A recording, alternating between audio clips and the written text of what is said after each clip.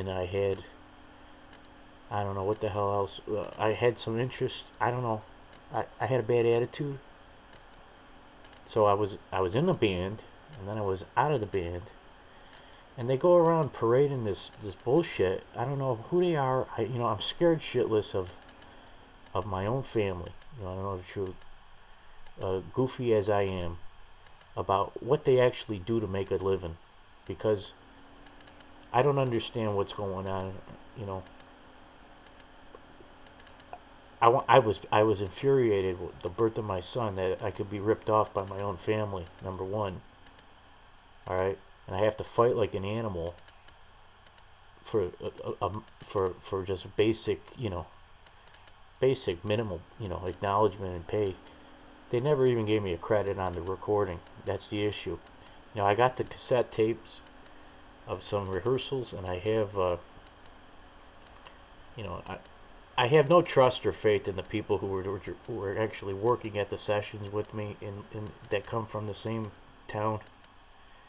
There's another guy I won't mention his name. You know, I won't. You know, I don't feel any. I it's a dead. Really, look, I'm in the shadow of a, a few musicians in the locality that have family, you know, organizational, you know, thrust actively involved in the music business in America and overseas. You know, and as far as I understand it is, I, I got no chance in a, at all to even find a guy to, or, you know, a couple people to, to help me record or, you know, have a trio or something. Nobody's talked to me.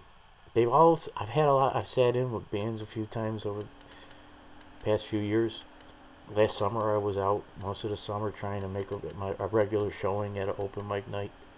But there was zero, and it will always be, it has always been, like zero uh, cooperation or connection with any legitimate um, promotional agent or booking, you know, there, there's like no help or acknowledgement for me to be, you know, a musician, and yet I'm, you know, actively have been, uh, you know, serviced, uh, rendered, recording musician and performing musician, with acknowledgement as a musician. It's pathetic. Uh, the long story short is I'm at my wits end trying to figure out how to push my ass out of the area and hopefully stay intact with some semblance of uh, of, uh, of sanity about it, you know. Um, I, I worry about uh, hanging around here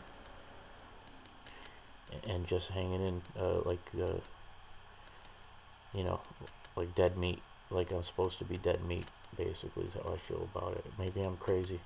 You know you I think it's isolation over time and, and the you know and you know there's no there's no girls that talk to you know no nobody I don't know. I mean nobody knows who I am or, or, or how I live or how it is where I live or you know and I'm sure I have such a wicked distorted person personal uh, you know observation point you know coming from me you know I, I've been living alone with my son for a long time and, and uh, you know I'm sure I don't access, you know, uh, enough things to, you know, it's, it's me changing. It's my personal problem.